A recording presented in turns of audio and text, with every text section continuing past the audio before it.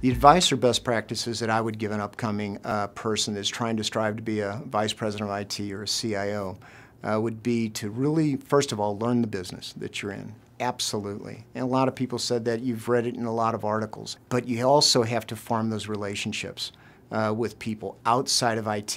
It's real comfortable to, uh, to talk to your fellow IT people, talk the same talk that they do, but uh, learn the lingo and the language that's outside in the business.